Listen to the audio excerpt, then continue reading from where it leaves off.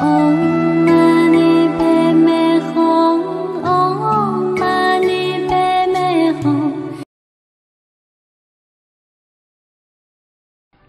văn Lúc bấy giờ, Bồ Tát Quán Thế Âm liền từ chỗ ngồi đứng dậy, đảnh lễ sát với chân Phật, rồi bạch Phật rằng: Giảng giải Phần trước Bồ Tát Đại Thế Chí đã trình bày cách thức tu tập pháp môn niệm Phật. Đó là phương pháp rất thích hợp cho mọi người trong thời đại ngày nay. Phương pháp ấy rất có hiệu quả. Sao vậy? Trong kinh dạy chúng ta rằng, vào thời mạt Pháp, trong một triệu người tu tập, thậm chí chưa có được một người ngộ đạo. Nhiều người tu tập, nhưng ít có người được chứng ngộ. Thế thì chúng ta phải làm sao? Đừng bận tâm. Kinh có dạy rằng, chỉ nhờ vào pháp môn niệm Phật mà mọi chúng sinh đều được độ thoát. Phương pháp niệm Phật rất dễ thực hành, bằng cách thực hành niệm Phật, chúng ta sẽ được thoát khỏi ba cõi theo chiều ngang và đới nghiệp giảng sanh. Thế nào là nghĩa thoát khỏi ba cõi theo chiều ngang? Cũng giống như loài côn trùng sống trong ống tre, nếu nó đục xuyên theo chiều dọc thân tre, nó phải đi qua các lóng mắt. Phải mất thời gian rất lâu. Thay vì vậy, nếu loại côn trùng ấy biết cách gặm một lỗ ở bên thân tre, thì nó sẽ ra khỏi được ống tre một cách rất dễ dàng. Người niệm Phật cũng giống như loài côn trùng thoát ra khỏi ống từ bên thân cây tre. Họ thoát ra khỏi ba cõi theo chiều ngang, đúng với tầm mức của họ.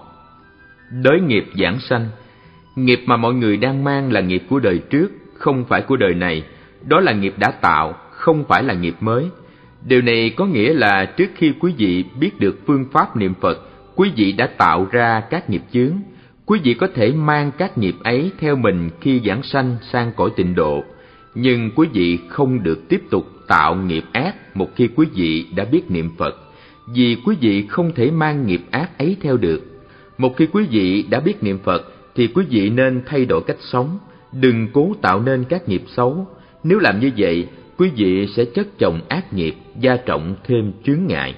Đó gọi là biết rõ mà cố phạm, minh tri cố phạm. Trong trường hợp đó, nghiệp chướng tăng gấp ba. Quý vị có thể mang nghiệp cũ để giảng sanh, nhưng nay quý vị đã hiểu được Phật Pháp, quý vị không thể nói rằng, Ồ, mình có thể niệm Phật, mặt kia mình có thể tạo nghiệp ác, vì trong tương lai mình có thể mang nghiệp đã tạo sang cõi cực lạc với mình. Thật là sai lầm. Không những quý vị không thể nào mang nghiệp của mình đi, mà còn không thể nào giảng sanh về đó, vì quý vị sẽ bị chướng ngại bởi nghiệp của mình. Chúng ta là những người đã tin vào Đức Phật, phải nên thận trọng, đừng tạo thêm nghiệp chướng một khi chúng ta đã biết niệm Phật. Chương Đại Thế Chí niệm Phật viên thông này vô cùng quan trọng, mọi người nên biết phương pháp niệm Phật chủ yếu là gì. Tại sao chúng ta phải nên niệm Phật? Vì chúng ta có nhân duyên rất lớn với Đức Phật A Di Đà. Đức Phật A Di Đà đã thành Phật cách đây 10 kiếp. Trước đó, Ngài có pháp danh là Pháp Tạng Tỷ Khưu. Lúc ấy, Ngài phát 48 lời nguyện. Trong lời nguyện thứ 13 và 14, Ngài phát nguyện nếu có chúng sinh nào trong khắp mười phương niệm danh hiệu của tôi mà không thành Phật, tôi nguyện sẽ không thành chánh giác. Nói cách khác, nếu có chúng sinh nào niệm danh hiệu Ngài mà không được thành Phật, thì Ngài nguyện sẽ không thành Phật. Và do nguyện lực của Đức Phật A-di-đà, mọi người ai niệm danh hiệu của Ngài thì đều được giảng sanh vào thế giới cực lạc. Pháp môn tịnh độ là một trong năm tông phái của Đạo Phật Trung Hoa. Một Thiền Tông hai Giáo Tông ba Luật Tông bốn Mật Tông năm Tịnh Độ Tông Tịnh Độ Tông sẽ là tông phái còn tồn tại sau cùng. Trong thế giới này, vào thời mạt Pháp, kinh Thủ Lăng Nghiêm sẽ bị biến mất trước tiên. Sau đó, các kinh khác cũng sẽ lần lượt bị biến mất. Chỉ có kinh A-di-đà còn lại. Kinh A-di-đà còn lưu lại trên thế gian, kinh sẽ độ thoát cho rất nhiều người. Sau hơn một ngàn năm nữa, kinh A-di-đà cũng bị biến mất hẳn. Thời mạt Pháp đơn giản có nghĩa là chánh pháp hoàn toàn biến mất hẳn. Một khi kinh A Di Đà đã biến mất, chỉ còn lưu lại câu Nam mô A Di Đà Phật. Câu nói phi thường này cũng sẽ độ thoát cho rất nhiều người. Thế nhưng sau một ngàn năm nữa, nó cũng sẽ biến mất. Những gì còn lại chỉ là danh hiệu A Di Đà Phật. danh hiệu này cũng sẽ tồn tại trên thế gian một trăm năm nữa rồi cũng biến mất.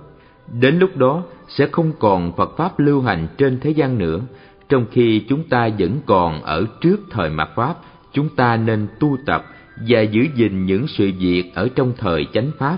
Đó gọi là thỉnh Phật chuyển Pháp Luân. Trong thời mạt Pháp, chúng ta không nên sợ một khó khăn gian khổ nào. Tôi không ngại khó khăn khi giảng Pháp cho quý vị, và quý vị không nên sợ cực khổ khi đến nghe kinh. Hãy phấn chấn tinh thần lên, đừng nói rằng mình mệt và phải đi nghỉ. Hãy quên chính mình vì đạo Pháp. Hãy suy gẫm xem Đức Phật Thích Ca Mâu Ni đã sống trong núi tuyết suốt sáu năm để tìm đạo như thế nào. Chúng ta không vào trong núi sống sáu năm, nhưng việc nhỏ nhất chúng ta có thể làm là tìm hiểu về đạo Phật. Hãy xem Phật Pháp như là lương thực mà quý vị cần có để ăn vậy. Nếu ta không đi nghe giảng kinh, cũng giống như vài ngày tới mình không có gì để ăn vậy. Quý vị nên có suy nghĩ như vậy, ta phải đi nghe Pháp, ta chắc chắn phải tìm cách để hiểu đạo một cách chân xác. Quý vị đi đâu để có được sự hiểu biết chân chính về Phật Pháp? Quý vị phải thường nghe giảng kinh. Không nghe giảng kinh, quý vị không thể nào khai mở trí huệ. Đây là điều đặc biệt đúng đối với kinh Thủ Lăng Nghiêm, vì đây chính là kinh khai mở trí huệ cho chúng sinh. Hãy lấy ví dụ như chương nói về Pháp tu viên thông này do 25 bậc thánh giảng dạy. Có vị đã thành tựu đạo nghiệp của mình bằng Pháp hỏa quan tam muội có vị đạt được viên thông nhờ vào phong đại, có vị nhờ vào không đại, có vị tu tập từ nhãn căn của họ và được thành tựu, và có vị tu tập từ nhĩ căn. Mỗi thứ trong sáu căn đều được các vị này hoặc các vị khác dùng để tu tập. Mỗi phạm trù trong mười tám giới đều được mỗi vị thể nhập và tu chứng. Nghe những đạo lý này, quý vị nên áp dụng vào cho chính mình. Quý vị sẽ hỏi, con nên tu tập theo căn nào? Đừng nôn nóng. Chính nhĩ căn mà Bồ Tát Quán Thế Âm đã dùng để tu tập là tốt nhất đối với quý vị. Bồ Tát Quán Thế Âm đã thành tựu viên mãn công phu tu tập từ nhĩ căn, và Ngài A Nan sẽ theo Bồ Tát Quán Thế Âm để tu tập pháp môn này. Chư Phật và Bồ Tát trong đời trước đã truyền lại cho chúng ta một pháp môn di diệu, chúng ta nên theo pháp tu từ nhĩ căn để đạt được viên thông đây là phương pháp dễ nhất. Lúc bấy giờ, Bồ Tát Quán Thế Âm liền từ chỗ ngồi đứng dậy, đảnh lễ sát với chân Đức Phật, rồi bạch Phật rằng, Quán có nghĩa là tư duy, quán chiếu, dùng năng lực trí huệ quán sát, hành giả quán chiếu thế giới khách quan. Với năng lực trí huệ, hành giả quán sát cảnh giới đang được quán chiếu, năng lực quán chiếu của trí huệ vốn có sẵn trong tự tánh của Bồ Tát Quán Thế Âm. Thế giới khách quan được quan sát, đó là những âm thanh phát ra từ mọi chúng sinh. Quý vị nên quán sát tiếng kêu của khổ đau, tiếng reo của hạnh phúc, âm thanh của điều chẳng khổ chẳng vui, âm thanh của cái thiện, âm thanh của cái ác, âm thanh của chân thật, âm thanh của hư vọng, nên quán chiếu tất cả mọi thứ âm thanh.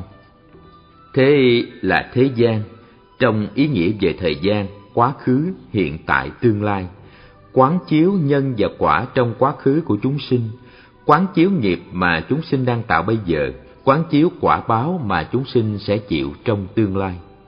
Tại sao người ta phải khổ đau nhiều vậy?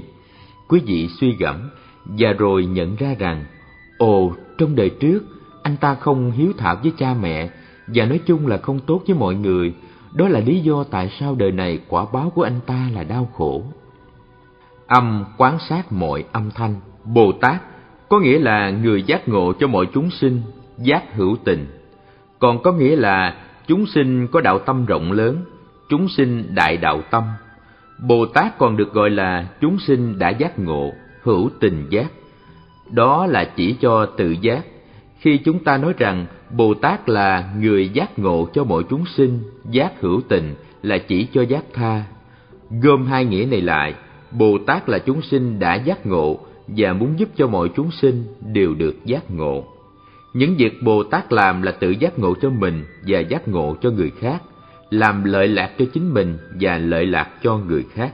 Quý vị là những người đang tu học Phật Pháp, phải nên nhớ kỹ ý nghĩa về Bồ Tát. Đừng để như trường hợp có người chủ trì một hội nghị về tăng già hòa hợp, nhưng khi có người hỏi tăng già là gì thì chỉ biết im lặng, thật là không thể tưởng tượng được.